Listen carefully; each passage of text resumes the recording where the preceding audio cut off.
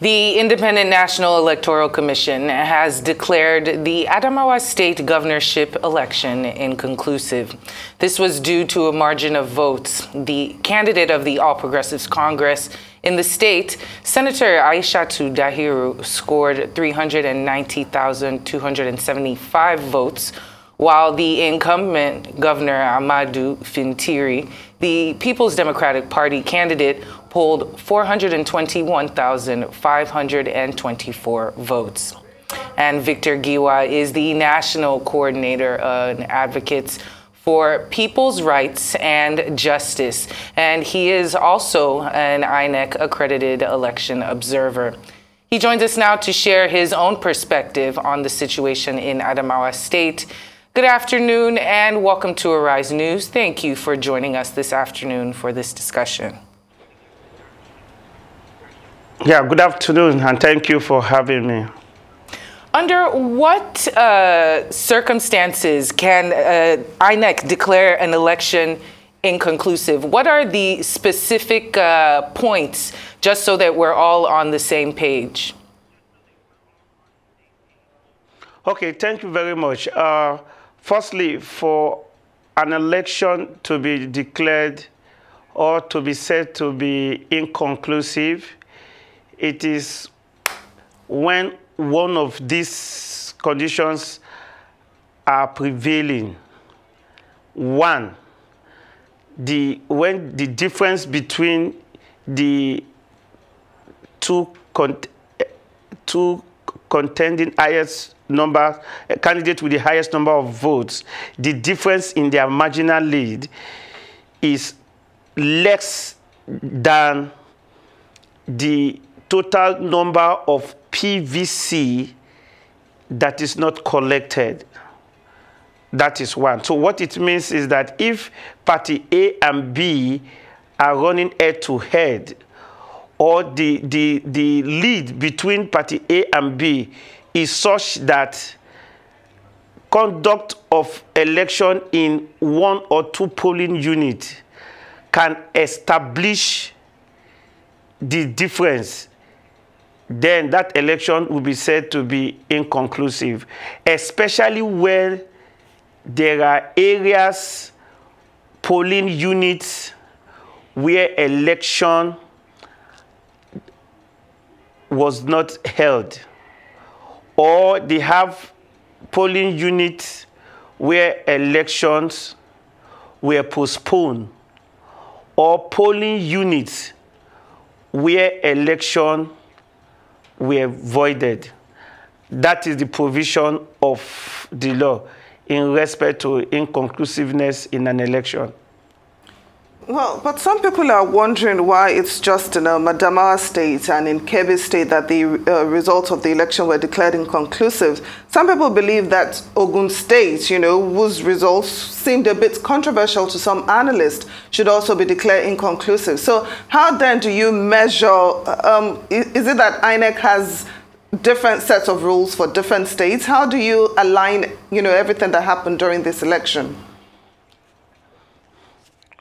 Yeah, thank you very much. And that seemed to be a very good, that's, that is a very good question. And for us in the civil society organization, that has been one of the, you know, talking point. We have been interrogating the sincerity of of INEC officials in the conduct of this, of this election. From the video clip we have seen from the speeches and press releases, statements made by various uh, candidates and political parties, one of the issue you can draw out from their statements is the fact that the desperation of politicians, vulnerability of INEC officials, and compromised security agencies are the major problem with this election. The 2023 election has been, uh, will I say now, it has been bungled by the act of desperate politicians, vulnerable INEC officials, and compromised security agency. Then I will take it so that in answering your question, you will notice that in conduct of election, three um, instruments are very important. You need to look at the Electoral Act 2022, the INEC regulation and guideline for the 2023 election, and the manual.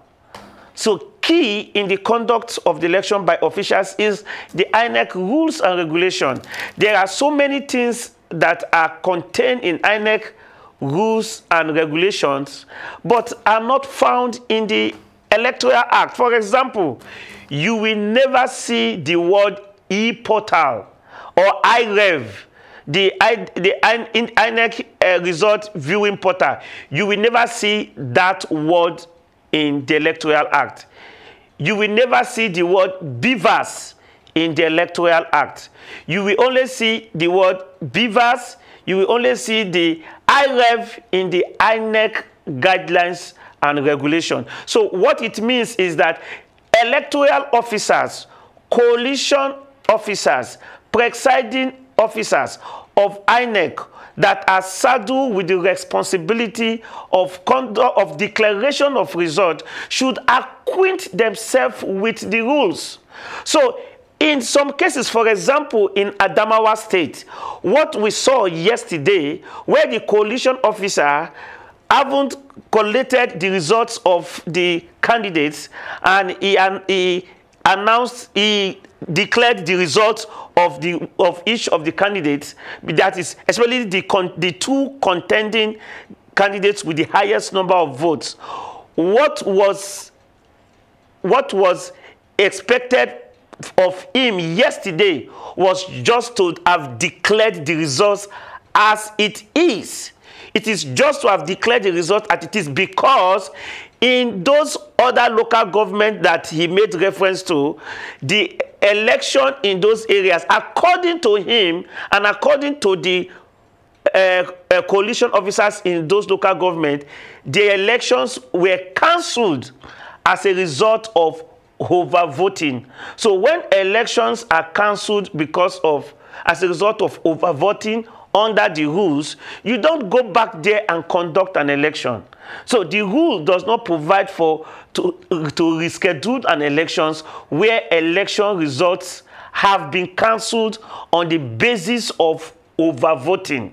Now, where you can have a rescheduled election is where during the course of an election, election was interrupted as a result of violence or threat to violence or failure of the BVAS to work.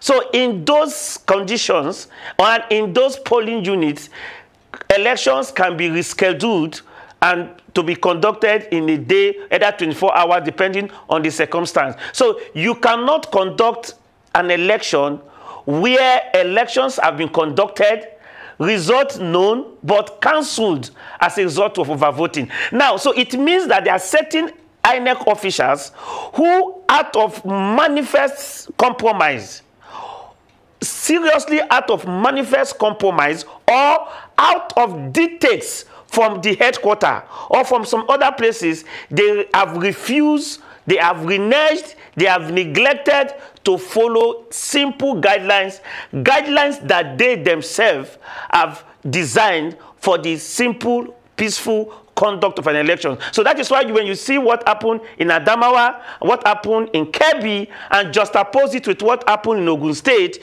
you will see conflict in the in the in the in the pattern of the result in the in the attitude of the coalition officers laws are supposed to be certain. Laws are supposed to be are supposed to be are supposed to be predictable. It is not discretional. The rules are very clear. But a lot of these coalition officers out of manifest compromise out of mischief they have decided to take certain positions that have undermined the will of the people uh, uh, Mr. Giwa, let me just uh, restate what you said, just to make sure that uh, we're clear. In cases where there's overvoting, there can be no rerun election. Is that what you're, you said? Correct. Where there is overvoting, it means the product of overvoting is a cancelled election. It's a cancelled result. So elections cannot be conducted in that particular area. That is what I'm saying. All right. Well, we have many, many more questions to ask you. This is quite a topic that will be uh, picked apart in the next couple of days. Thank you so much, uh, Victor Giwa, for joining us this afternoon and for this important discussion.